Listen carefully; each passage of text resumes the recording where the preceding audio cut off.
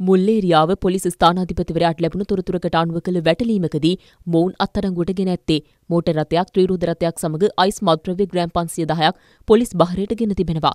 මද්‍රව්‍ය ජාවාරමේ ප්‍රධාන සැකකරුවන් පෙතියාගොඩ සංකකේ සහ අංගොඩ ලොක්කාගේ ගෝලයන් බවයි ආරක්ෂක අංශ සඳහන් කරන්නේ. අංගොඩ ප්‍රදේශයේ නිවසක් සෝදිසි කිරීමේදී සැකකරුවන් සහ අයිස් මද්‍රව්‍ය අත්අඩංගුවට ගැනුණා. එම නිවසට පැමිණි තවත් දෙදෙනෙකු සෝදිසි කිරීමේදී ඔවුන් ළඟ තිබී අයිස් මද්‍රව්‍ය සොයා ගැනීමට පොලිසියට හැකි වුණා. මෙම ස්ථානයේ සිටියා වෙරළා ආරක්ෂක දෙපාර්තමේන්තුවේ සේවය කරන ශ්‍රී ලංකාවේ නාවික හමුදාවේ ලුතනන්ට් කමාන්ඩර්වරු දෙදෙනෙක් මේ දෙදෙනාත් අත්අඩංගුවට ගත්තා. ඔවුනුත් ඔවුන් පැමිණි වාහනයක්ත් අපි අත්අඩංගුවට ගත්තා කාර් රථයක්. අපි විශ්වාස කරනවා මේ යම්කිසි ආකාරයකට මේ මද්ද්‍රව්‍ය ප්‍රවාහනය සඳහාම ඔවුන් විසින් කටයුතු කරා මේ ජාවාරමේ යෙදලා හිටියා කියලා මේ නිවසේ ඔවුන් මද්ද්‍රව්‍ය වලට ඇබ්බැහි වෙච්ච ස්වරූපයක් අපිට නිරීක්ෂණය වුණා.